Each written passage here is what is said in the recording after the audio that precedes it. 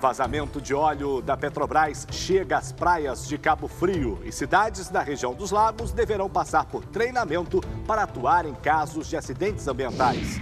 Bandido armado rouba embarcação em cais de Angra dos Reis e turistas desesperados pulam na água. Quadrilha que assaltava hotéis e pousadas é presa em Búzios. Grupo se preparava para cometer mais um crime. E o Procon de Petrópolis intima a Concer a solucionar transtornos provocados pelas obras da subida da serra. 15 de abril, segunda-feira, começa agora o seu SBT Cidade.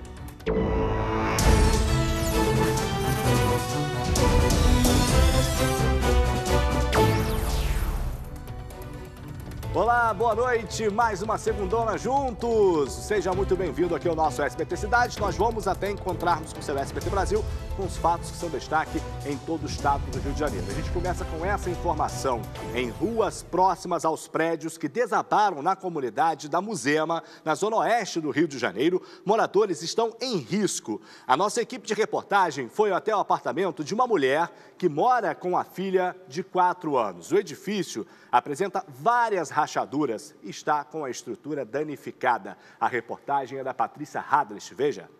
Por volta de 10 e meia da manhã, o 11º corpo foi encontrado nos escombros, mas os bombeiros não deram detalhes. Nesta segunda-feira, as buscas entraram no quarto dia. 13 pessoas seguem desaparecidas. Seguindo informações de moradores e com a ajuda de cães farejadores, os bombeiros estão abrindo buracos no concreto na tentativa de localizar sobreviventes. Com a previsão de chuva, a corrida contra o tempo fica ainda mais dramática.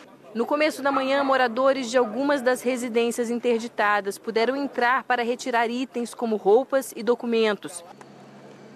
Segundo a Defesa Civil, três prédios próximos ao desabamento vão ser demolidos. Outros 13 estão recebendo escoramento. Fora dessa lista estão dezenas, se não centenas de outros edifícios na Musema que correm o risco de desabar.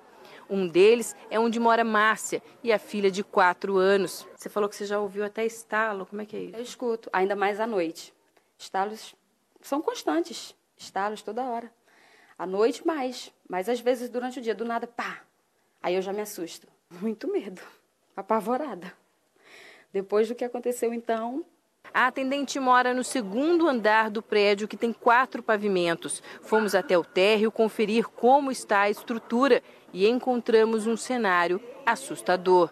Aqui no térreo morava uma família, pai, mãe e dois filhos. A cada chuva, a água invadia a casa e atingia a altura de cerca de um metro. Com medo do prédio desabar, há cinco meses a família resolveu sair daqui. Esse temor fica evidenciado aqui em um dos quartos, olha só, que apresenta uma rachadura enorme na parede é possível ver que a rachadura de grandes proporções criou uma trinca dois andares acima, no quarto da filha de Cláudia. A menina está dormindo no outro quarto com a mãe. Não consigo dormir. Minha filha dorme e eu fico vigiando o sono dela, porque eu não sei o que pode acontecer. Eita, é triste, é lamentável a gente saber que a tragédia está ali, está na cara, está anunciada. Pessoas que não têm para onde ir, pessoas que apostaram naquele investimento imobiliário que juntaram todas as suas economias e, por descaso do poder público, que não fiscalizou, que não coibiu essas construções, estão lá correndo risco de morte. É triste. Agora, intervalo, a gente volta já com outras notícias para você. Continue aqui.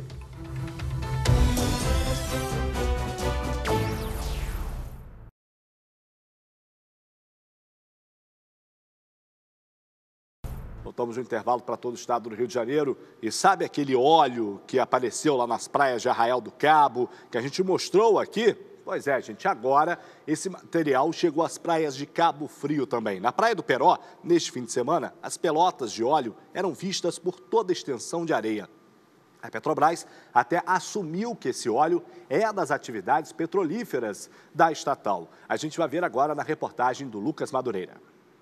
A praia é a única do estado do Rio de Janeiro que tem a bandeira azul, selo internacional que atesta a qualidade e sustentabilidade. Hasteada desde novembro do ano passado, a bandeira foi arrancada da orla nesse fim de semana, após a praia voltar a ser atingida por pelotas de óleo no último sábado. Nós solicitamos a retirada da bandeira, informamos a Petrobras imediatamente é, do que estava acontecendo. É, eles enviaram prontamente a equipe e quase que imediatamente iniciaram o processo de limpeza da praia, que nesse momento já está bem avançado. Aqui em Cabo Frio, o final de semana foi de muito trabalho. Hoje, a Praia do Peró já está praticamente limpa. A Petrobras assumiu que as pelotas de óleo que apareceram aqui e também nas praias de Arraial do Cabo e Búzios são de atividades petrolíferas da estatal. As cidades anunciaram que vão receber equipamentos para a contenção de vazamentos de óleo, como os que aconteceram. As três cidades vão receber ainda a capacitação para agentes efetivos da Guarda Marítima e Ambiental para atuar em possíveis ocorrências. Todo mundo quer ver a bandeira hasteada, quer ver o local é, em, suas, em seu pleno funcionamento com todas as condições de, de receptividade. Nós estamos trabalhando para que isso se resolva o quanto antes. Agora, basta saber de onde realmente esse óleo vazou para que seja feita a manutenção necessária e que a dona Petrobras não deixe vazar mais, não é isso? Porque não pode acontecer é uma devastação do meio ambiente, é um crime ambiental isso aí, é um absurdo ver as praias da região dos lagos, praias bonitas, desse jeito, dona Petrobras. Por favor, vocês têm que investir em manutenção e tomar cuidado com essas operações de vocês, porque vocês faturam, ó, bilhões, meus amigos, bilhões. Faturamento de vocês é alto. E olha, ontem uma tragédia no trânsito chocou moradores da cidade de Paraíba do Sul. Um menino de 12 anos morreu atropelado quando estava na calçada conversando com os amigos. A gente vai aqui, a repórter Carolina Costa tem as informações para gente. Vamos com ela então. Boa noite, Carolina. Como tudo aconteceu? Conta aí. Boa noite, Salutiel. Boa noite a todos. Rodrigo da Costa Carvalho, de 12 anos, estava de bicicleta na calçada, conversando com os amigos, quando foi atingido por um veículo. O caso aconteceu na estrada Queima-Sangue, na cidade de Paraíba do Sul, na tarde de ontem. O carro chegou a derrubar parte do muro de uma residência. Rodrigo acabou não resistindo. O motorista do veículo foi levado com ferimentos para o Hospital Nossa Senhora da Conceição, que fica na cidade vizinha de Três Rios. O estado de saúde dele não foi divulgado. As causas do acidente estão sendo investigadas. O corpo do menino foi enterrado na tarde de hoje no cemitério Santo Antônio, em Paraíba do Sul. Salu. Meu Deus do céu, que tristeza, hein, Carol? Olha, lastimável. Você tem que saber que realmente aconteceu ali. De repente o motorista passou mal, a gente não está aqui para julgar ninguém, né? Tem que saber o que realmente aconteceu de fato. Obrigado. Divide a tela. Vamos agora com Lucas. Quatro homens armados foram presos por suspeita de cometerem assaltos a hotéis e pousadas em Búzios. É com você então, Lucas Madureira. Os detalhes aí, as informações sobre esse caso. É o seguinte, Lucas, boa noite. Eles estavam se preparando para cometer mais um crime, é isso mesmo, lá na região? Isso mesmo, Salutiel. Boa noite para você, boa noite a todos. Segundo a Polícia Militar, os suspeitos têm entre 21 e 38 anos e foram presos num táxi após uma denúncia na estrada da usina no bairro João Fernandes, em Búzios. Com eles, os agentes encontraram um revólver calibre 38, munições, uma réplica de pistola, duas toucas ninja e um celular. Ainda de acordo com a PM, os suspeitos são de Cabo Frio, município vizinho, e foram autuados por porte ilegal de arma de fogo e associação criminosa. Eles foram levados para a delegacia de Búzios, onde permaneceram presos. A polícia pede que as vítimas desse tipo de crime nas últimas semanas na região para irem à delegacia para fazerem um reconhecimento dos suspeitos, Salutiel. Volto com você aí no estúdio. Eita, pegos com a boca da mutija, da mutija, né? Como diz o ditado popular, né, Lucas? Está aí, iam cometer mais um crime, agora se deram mal, foram para a cadeia. É assim tem que combater o crime para a gente tentar reduzir a criminalidade em todo o estado do Rio. E olha, o fim de semana também foi de combate ao tráfico de drogas na região serrana, em Petrópolis. A Polícia Militar apreendeu cerca de 4 mil cápsulas de cocaína e mais de 400 tabletes de maconha além de 627 frascos de loló e 60 comprimidos de êxtase. Tá, todo esse material foi encontrado dentro de um tonel na localidade conhecida como Mata da Biquinha, no bairro Provisória. E não parou por aí não, tá? A PM também encontrou por lá radiotransmissor, munições e cadernos com anotações do tráfico. Ninguém foi detido. E agora com esse assunto, a gente fala de um grande susto que moradores de um bairro em São Pedro da Aldeia passaram nesse fim de semana. É que um balão, aqueles que essa galera solta aí regularmente, caiu sobre o telhado de uma casa. E aí, é claro, interrompeu lá a, a energia elétrica, o fornecimento de energia elétrica, arrebentou toda a fiação. E a gente vai saber mais com o Lucas Madureira sobre esse caso absurdo. Lucas, é, bem-vindo de volta aqui. Alguém foi detido nessa ação? Alguém se feriu? Quanto que aconteceu aí? Pois é, Salutiel. Até o momento, nenhum irresponsável foi detido. O incidente foi registrado no último sábado em São Pedro da Aldeia.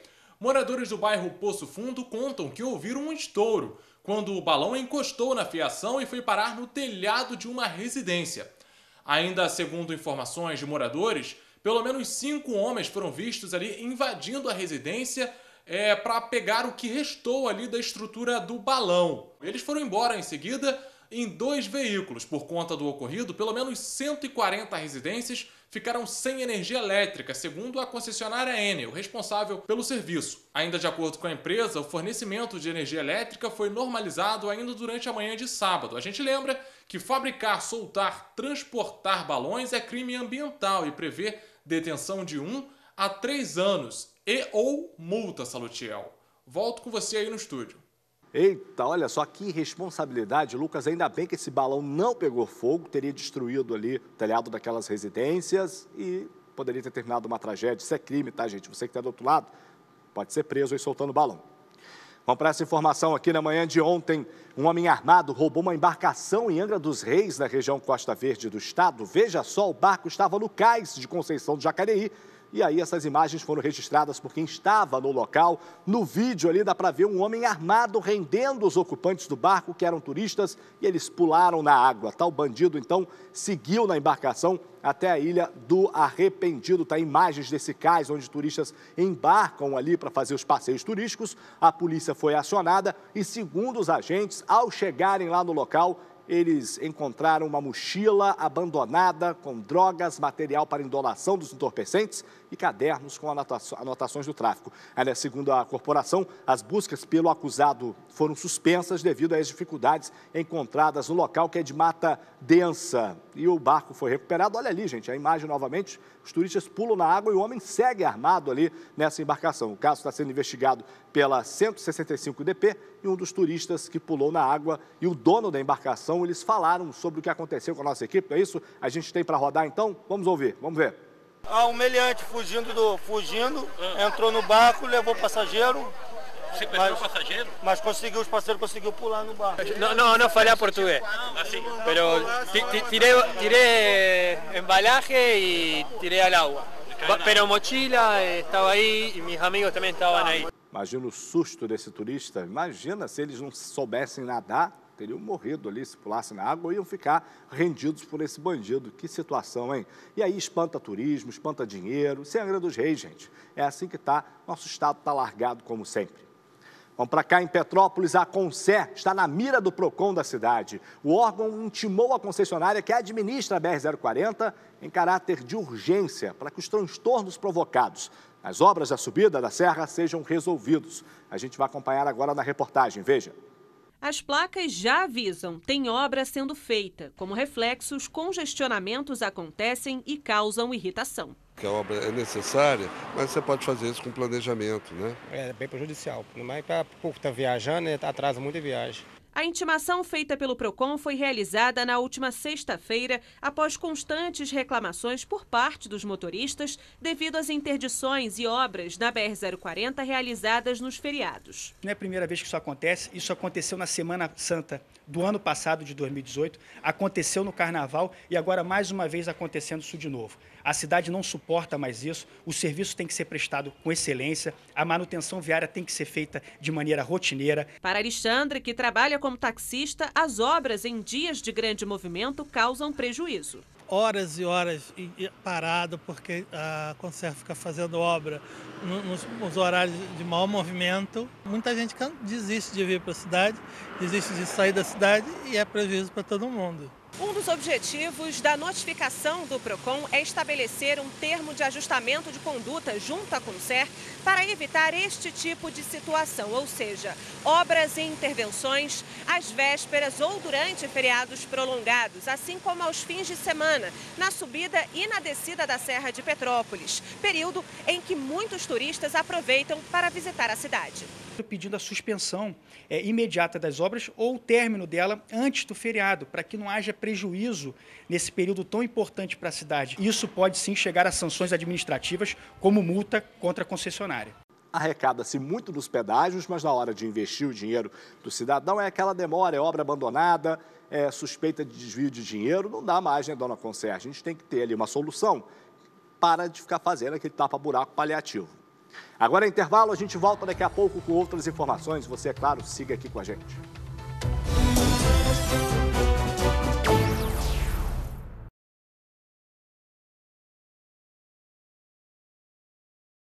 E aí o intervalo foi bem rapidinho, a gente volta para continuar te informando. O assunto agora é maus tratos contra animais. Mais um cavalo foi encontrado morto, enforcado por uma corda em Nova Friburgo. Quem tem as informações para a gente sobre esse, essa triste cena é a Carolina Costa mais uma vez. Carol, explica aí o que aconteceu dessa vez. Salu, a notícia é bem triste mesmo, viu? O animal foi encontrado morto ontem em um terreno que fica no bairro Cônego, em Nova Friburgo. Ele estava com uma corda amarrada no pescoço. O cavalo foi encontrado por um homem que passava pelo local de bicicleta. Uma equipe da prefeitura da cidade recolheu o corpo do animal. Por nota, a Prefeitura de Nova Friburgo disse que busca identificar o dono do cavalo e que vai registrar uma ocorrência na delegacia. A gente lembra que não é a primeira vez que isso acontece na região. No último dia 10 de fevereiro, dois animais também foram encontrados mortos nas mesmas condições em um bairro vizinho. Salu, voltamos com você pendura, né, Carol? Bota um bicho ali na beirada do barranco e aí o bicho depois cai e se enforca na corda que está prendendo o animal. Pegar, né? Poderia pegar os donos desses bichos aí e colocar eles também na mesma situação. De repente cai ali no barranco, faz um favor para o mundo. Não matar o bicho que não tem nada a ver com a história. E olha, a chuva tem trazido aí bastante transtornos para quem mora no interior do estado, mas em muitos casos ela não é a única culpada, não. O descaso do poder público também contribui. É o que está acontecendo no bairro Bingen, em Petrópolis. Por lá tem rua que se transformou em um verdadeiro mar de lama. Trafegar pelo local é missão quase impossível. A reportagem é da Tassiana Ferrante, a gente acompanha agora. De carro ou a pé, conseguir vencer a barreira de lama é uma tarefa difícil. Quinta-feira que estava chovendo, então não teve. Eu tive que voltar e dar volta lá pelo outro lado, porque não tinha como passar por aqui. Mas depois que colocaram essa terra aí, está quase intransitável. Segundo os moradores, vários caminhões despejaram terra neste trecho durante a madrugada da última quarta-feira. Desde então, eles procuram o poder público para tentar solucionar o problema, tendo em vista que a passagem está praticamente bloqueada. Apesar disso, até o momento, nada foi feito. Chayenne precisa atravessar o local todos os dias para levar os três filhos à escola. O jeito, então, é andar devagar e com atenção redobrada. Mesmo assim, hoje ela quase caiu. Se eu caísse com ele, como é que eu ia fazer? Tá muito ruim para passar, se deixar até a fundo o pé. Rosemary mora há 30 anos na região e afirma que a rua nunca foi calçada. O pouco que se vê foi feito pelo marido e o filho nos dias de folga. Eles pegam um cascalho e espalham até onde conseguem. Porque não tem como passar. Tá barro puro e com essa chuva não para de chover, né? E vim, tem que trazer uma máquina para tirar porque tá alto de lama, tudo tá horrível, tá horrível a passagem, não tem como. Eita, olha aí que situação. Tem aqui no meu celular uma nota enviada aqui por nossa produtora, que a prefeitura respondeu agora há pouco para a gente, dizendo que o trecho citado ali na reportagem, que é a rua Afonso Quenes, está sendo incluído lá naquele esquema de programação de serviços de manutenção de estradas. A prefeitura informou também que em pouco mais de três meses, 106 ruas aí de 31 bairros da cidade foram atendidas por esses mutirões de serviços de manutenção das vias. A gente espera então que a Prefeitura de Petrópolis chegue lá no Bing e solucione problema dos moradores aí, porque não dá para continuar com essa rua cheia de lama desse jeito, não é isso? E agora, faço o quê? Vou embora? Então tá bom, vem chegando aí o SBT Brasil, tá assim, ó, de informações do nosso país e do mundo, as mais importantes. Atenção, o Birajara Jesus, nosso editor de imagens, liberando nossos contatos na internet. A gente volta a se falar amanhã. Uma ótima semana, tchau e até lá.